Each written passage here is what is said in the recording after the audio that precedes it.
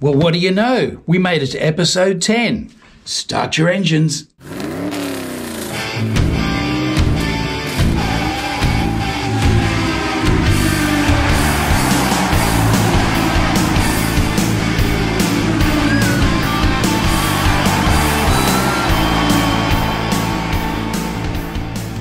The Great Scenery Construction Caper continues.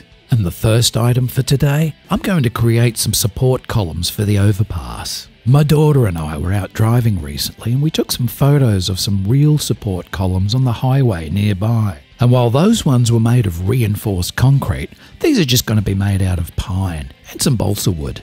After a lot of experimentation and some critical measurements, I've cut them at a specific angle to bank the curves. And then, just like the real columns in our photographs, I'm using these pieces of balsa wood to add to the top and base. This will make a lot more sense once I get some paint on these things. For the ends, I've just cut out these little pieces of balsa. Now, they don't have to be a precise cut fit. In fact, the rougher they are, the better. Once again, the paint will make a world of difference. As usual, I'm using my favourite craft glue, the Stringy Stringy. And would you believe this is the exact same bottle of glue that I started this whole series with? It's still going. It's not bad glue. I just wish it wasn't so stringy. Can't complain about it as far as value for money is concerned. And so there you go. I've just quickly knocked up two of these things. Once the measurements were settled upon, they weren't really that hard to make. Now for the paint. Just like my Mountains of Doom, I've mixed up my own shade of grey. I'm attempting to get a sort of a raw concrete look, just like those ones out on the highway. What do you think? I think they're not too bad at all. And now to make a couple more. There you go. Look familiar? You probably pass by dozens of these things on your way to work each day. And now I have my very own. Not bad at all.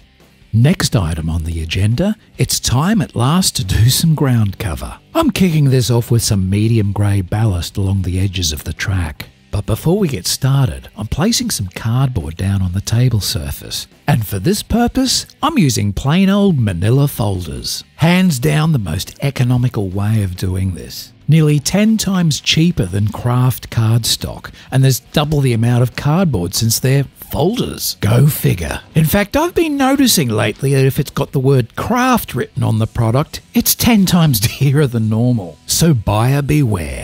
Now I'm adding the ballast dry. I'm not putting down any glue as yet. This allows you to spread it and shape it like a miniature landscape gardener. For the glue mix, I'm adding one part PVA, one part water, and a few squirts of isopropyl alcohol. And not shaken, stirred. Then for the best application, use a syringe so you can focus it tightly into the corners, unlike what you see me doing here. With the ballast completely saturated with the glue mix and now drying, I've decided to start working on one of my tyre walls. Now I'm well aware that the traditional way of doing a tyre wall is to stack them directly on top of one another. But hey, I like to think outside the box and do things my way, so I'm staggering them just like this. I'll be adding some advertising banners a little later, but so far, looking good. And while everything's in complete disarray, I thought I'd take the opportunity to add another strip light to this far end bridge. Also looking good. Next, I'm creating a grimy concrete look for the back of the pit lane garages. Only three shades of grey for this effect. And now some more medium grey ballast, this time around those faux concrete columns. I'm starting to get the hang of using the syringe, not so squirty squirty as before. Of course, you can use the jug itself to pour the glue mixture out into the main body of the ballast, but definitely stick to the syringe for those edges and tight corners. And here's the story so far. It's really starting to take shape. Lots of grey, but don't worry, there'll be plenty of colour when we put all this back together again. 12 hours later, and the glue is dry. And there's no loose particles either. This is by far the most effective method for laying this ground cover. Definitely no loose particles. Amazing. I will, however, give it a gentle work over with the vacuum once it's all done, just to be sure. You definitely don't want any loose particles getting into your slot cars. Not a good idea at all. Now, here's another reason for using the manila folders. That particular type of cardboard goes a certain way when drenched with the glue mix. It buckles and bubbles, then dries to give you this authentic looking finish. The painted section, however, is nice and flat, just like concrete. Very happy with that result. Meanwhile, outside I'm working on the last of the Mountains of Doom, or rather, Embankments of Doom. I've enjoyed working on these things, but I am kind of relieved it's over. A lot of work and a lot of mess, but the end result, well, it speaks for itself. I'll add a few extra little blemishes to these things little weeds, little bushes, little shrubs, maybe a few trees, and who knows, maybe I'll add some of those earthy tones too. And now for something completely different my new cat. This week, the family and I visited Empire Revival, basically a great big warehouse full of antiques and vintage collectibles. I found this little treasure hidden amongst a random pile of superhero memorabilia. Don't know why it was there, but it was definitely coming back with me to the garage. What a find! It's incredibly high quality with embroidered raised lettering and graphics. Never been worn, still has the cardboard insert. I'd say it's leftover stock from somewhere, but it's the genuine article. Monaco Grand Prix souvenir cap. Ferrari edition, I gather, from the colours. And if anyone can tell me more, let me know in the comments. And no, it's not made in China. It's the real deal, made in France. Now I've got something to wear when we actually get around to doing some racing. Thank you, Empire Revival. Love it. Now, this might seem highly unusual, but we got some mail. Ooh, show us your package.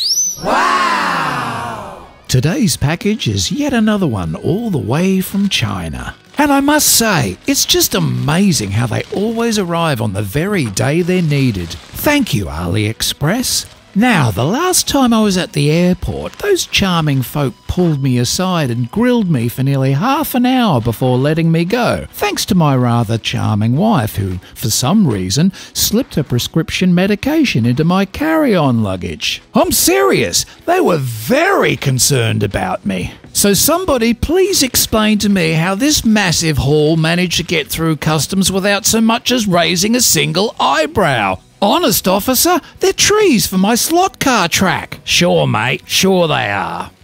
Actually, they look rather good. Nice shape, nice build quality, nice rich green colour, but for some reason they appear a little bit out of focus. What's up with that? There's about five different sizes, and all in all, I think I got about a hundred trees. Should be enough, I hope. Now, for this next item, I kept some of these offcuts from the Mountains of Doom. I'm going to create some little hills, or mounds, or grassy knolls, whatever you call them, lumpy bits. First thing is to arrange the offcuts to form a rudimentary shape. I'll be able to poke the trees into this stuff and they'll stay upright. Next, I'm going to apply some of this plaster cloth, apparently a favourite of model railroaders. You just cut it into strips, then soak those individually in a pan of water for about 10 seconds. Take the piece and lay it over some of the foam, and then gently shape it as desired. Add another piece next to that one, and so on, and so on, until you've got the whole area covered. If there's sections that look as though they need some more, add some more. Just keep going until you're happy with the result. Then have a close inspection of all the joins and make sure that nothing's separated or poking out or. Well, you get the idea. Just make sure it's good. But don't be too pedantic. Remember, we're going to add a whole heap of stuff on top of this once it's dry. And hey, check out this guy's technique. What a professional. Oh, hang on, that's me. Good job. Yeah, real good. Get down there, you. And you too. Oh, bloody hell, this is awkward. Whose idea was this anyway? Ah, mine again, yeah. Well, at least all this effort will be worth it.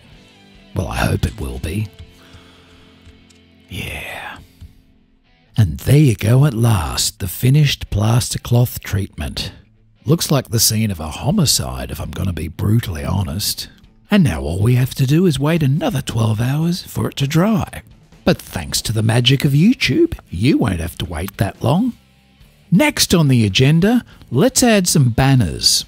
I've made another little tyre wall up the far end of the circuit, and I found some awesome looking banners to print out, like this Shell Helix one. Very nice. I'm using some stringy stringy glue to attach them to the tyres. And on the other side, some Red Bull Racing. Also, very nice. It's these little touches that'll really make this raceway come to life. Let's have a look. Yeah, that's what we're talking about. It's finally starting to look like an actual raceway. Love these little touches. And another 12 hours later, it's time to paint a base colour onto our homicide scene. Now, once we add the green grass, these browns and burnt sienna hues will poke through here or there and give it a much more authentic look. Which is a good thing, because quite frankly, that's looking like a festering mound of loaded diapers. Just saying. Yuck. Let's change the subject, shall we? Next, I'm creating my first batch of YouTube slot car channel logos. These channels were all very helpful and even inspired me to start my own channel. So, as a special tribute, they'll now be on display for all to see. I've simply sized and printed these logos onto glossy photo paper, cut them out carefully with this pair of scissors, and then simply mounted them upon some custom made balsa wood frames. Too easy. And just like that, we're off and running. And as you can see, there's plenty of space for more. Welcome aboard, fellas.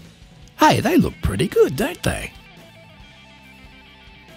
Now that the paint is dry, it's time to brush on some more of that glue mix. Unlike the technique with the ballast, I'm taking a different approach with the grass. The idea is that I want to gently sprinkle the grass onto the glue, let it fall where gravity takes it. As you can see, I'm not exactly trying to smother the mound with grass, but rather take a more artistic approach. We want some of that base colour to show through here and there, like there's been a bit of erosion and that the grass isn't exactly growing everywhere. See how that's coming to life? And By the time we add trees and shrubs, it should look really good. Yeah, that's the effect I'm going for. Now let's do some more. First up, a nice generous coating of our glue mix. Then we get all arty again and sprinkle our grass to taste. The grass I'm using, by the way, is Woodland Scenics. And there's our result. But we're not finished yet.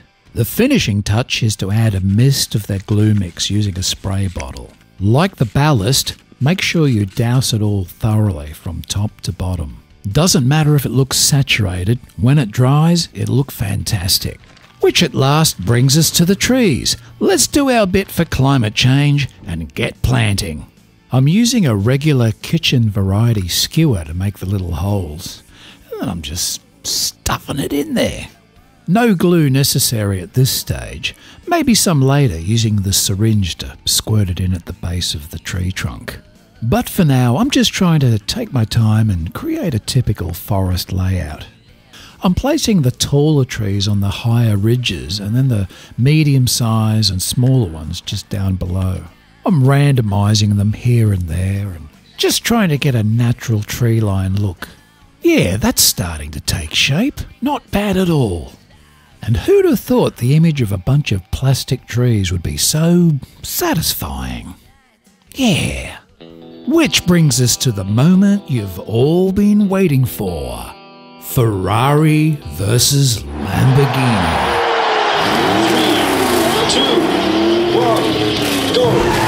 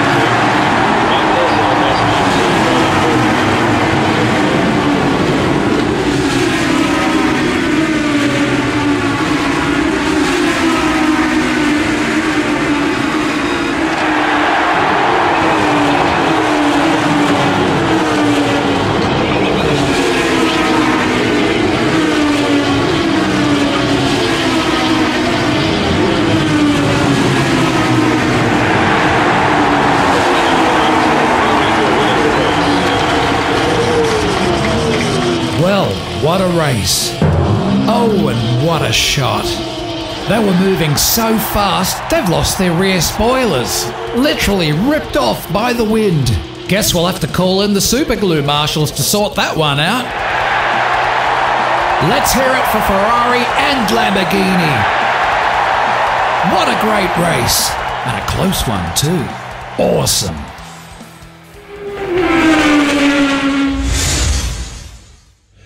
Well, wasn't that exciting? Might have to watch it back a few times. It was rather fast and furious. Wow. Uh, don't worry about the cars. We'll fix the spoilers. Or maybe we'll leave them like this. They do look pretty slick without them. Let's have a look around the circuit. Well, 10 episodes in. It's hard to believe. It's also hard to believe the work that's been done. It's definitely coming along. The tree's looking fantastic. Uh, and that grey ballast is really nice up against the edges of the track. I like that effect. Um, there's a fair bit more to do, but not as much as I first thought. A few more episodes, and I think it'll be more or less done. Um, now, I've got a space here reserved for uh, the Ferris wheel. This area here, well, first of all, we're going to populate the back of the pits with things like a little ambulance, a fuel tanker, lots of crew members, people, press, etc., uh, barriers, all the appropriate decorations. And then at this end, I thought we'd make it sort of like a, a fair kind of vibe. You know, you've got these little uh, grandstands here. Uh, but behind, I'm going to have a couple of those food stalls that you can get at Magnetic Racing. And yes, I saw the news that their Ferris wheel is just about ready. I'm hoping it's motorized, and I'm also hoping it has lights. If not, I'm sure we'll figure out how to make that a thing. Um, moving on around here, the uh, tyre wall and the signage worked out great. Um, in here, we've got to build a obviously a, a wall that's going to look like um, I don't know whether to go a stone wall, a brick wall, or a grimy concrete wall. There's another one to go on this side, and then also up the other end. That'll finish that off. Uh, needless to say, I'm waiting on some uh, straight shoulders. They should have been here in time for, to make this latest video, but they you know, the listing was on eBay. Oh, who was it? Uh, show us your slots. They've come through for me before. This time is a bit disappointing. They had the ad on eBay. I bought the things, and next thing you know, they're ringing up saying, "Oh, we don't actually have them." Well, why is it on eBay if you're out of stock? Take the bloody ad down. I really got to wonder, you know, how these people function sometimes. Um, but anyway, when when that box of straight shoulders get here, there's two going in there. There's another one or two going here to extend that. All this will be the grey ballast. Also along here. Um, ballast will go in here as well, under the bridge there. This will be glued in place. More ballast, pretty straightforward. Um, and it, it, it'll just finish off these little areas that are left undone. That's a straight shoulder, that's a straight shoulder. And I think that's all of them. Um, I've got to get some curved ones to finish off the center section. That's obviously going to continue around there. And that's about it. There's not a lot more, not really much more to, to add. Um, of course, there'll be little tyre walls and more uh, banners and billboards here and there. That'll really bring it to life. And uh, this particular cliff face here, I'm really liking this. Uh, the object is to fill it with these little logos as a just as a nod, as a tribute to these other channels that have entertained me, and I'm sure they've entertained you as well. Um, I think it's a cool thing to have.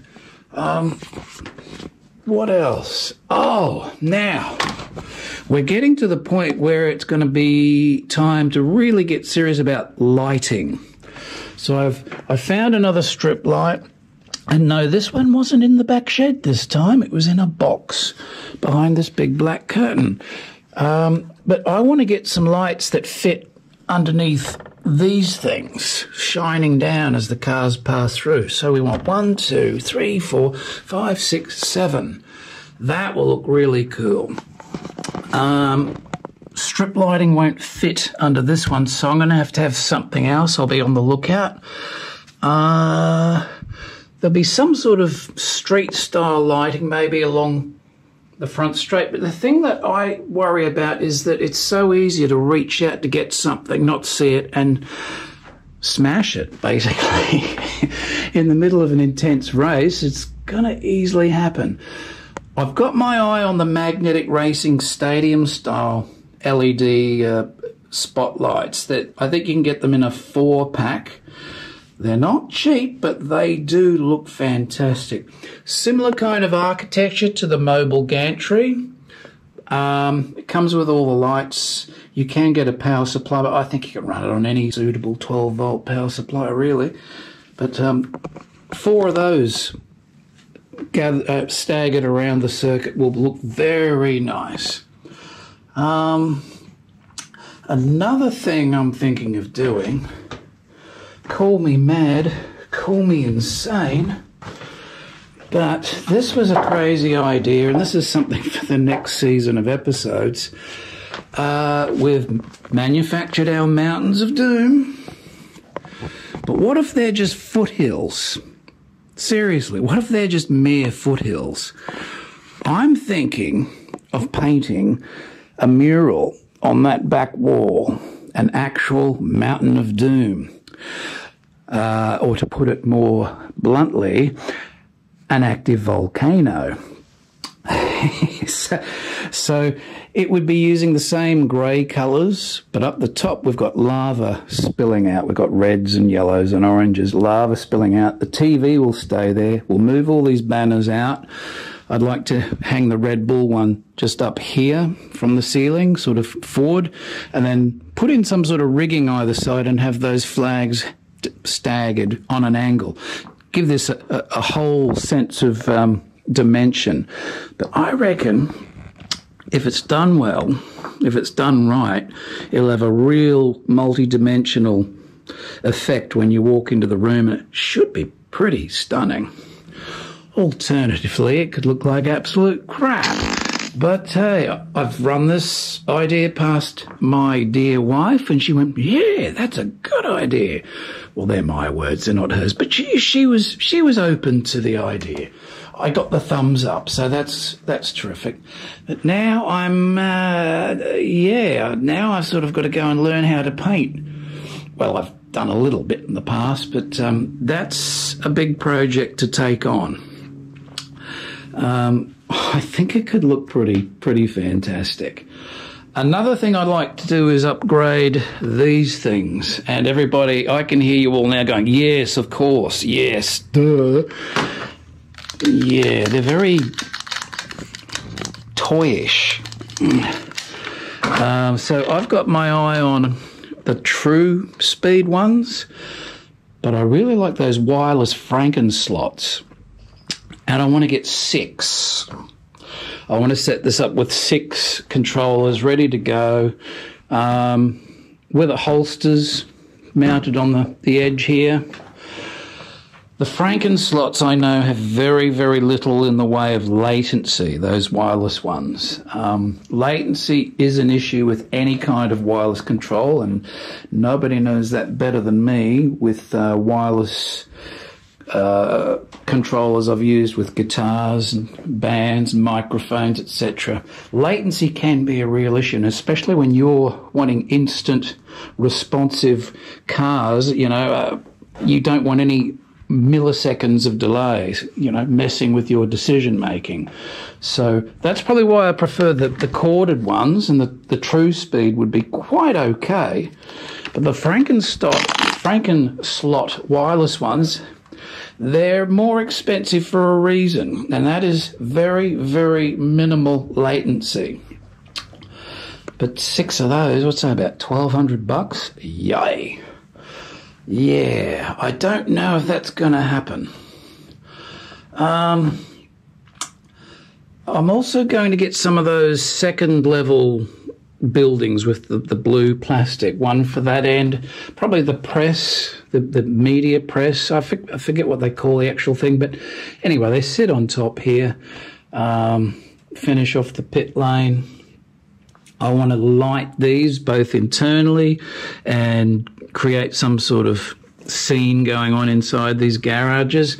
Lights internally, maybe some lights over the top here, just hanging over. I'll keep an eye out for the right ones. Um, and then we've got to get some people. The Carrera ones are just so expensive, aren't they? $80 for a pack of 20 sitting spectators. Um, and yeah, I prefer them painted because I really don't like painting, and this one's still not done yet.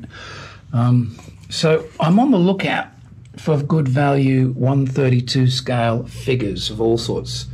Um, yeah, if anybody knows the ideal place to find them, please let me know in the comments. Now, it's at this point where I'd like to say a huge thank you to all the subscribers so far. It's amazing. The comments from people, you've been extremely positive, very supportive, and most important, you're enjoying the content. You're enjoying my babbling on. Who'd have thought? Uh, I'm not going to give away anything yet as to what's coming up in the next season of episodes. Um, but it's going to get pretty exciting. It's going to be more focused on some actual racing. I don't think there's much really in the way of content to do as far as finishing this, this circuit off. Uh, like I mentioned before, there's not a lot of ground cover to do. It'll just be lots of little, you know, banners and things, little printouts, and etc. The lighting will be tricky though that could take a little while. Definitely will bring it to life. And yeah, if I tackle that Mountain of Doom mural, that is going to be an interesting one. That's an epic fail in the making, I sense, but yeah. Will he attack it or will he just leave it alone? We shall see. Um, there's not a lot of room here to work. That's one thing I'm dreading. Yeah like I was saying, thanks again to all the subscribers. And let me point out one of these things. This guy here, Slot Car Wildman, was actually the first subscriber who had his own channel. So he's now been immortalized on the, on the layout. Good on you, Wildman. Great to have you aboard. And I hope you got a kick out of seeing your logo there. Um, and uh, Travis of that slot car guy, thanks, mate, for the shout out. That was a wonderful shout out. I, I, was blown away. My wife was blown away. My daughter was blown away. We could not believe it. Very, very nice of you. Um, and so that's about all for this episode. I guess we'll wrap it up there. And I'll see you on the next episode in the next season of Hughes Garage Slot Car Adventures.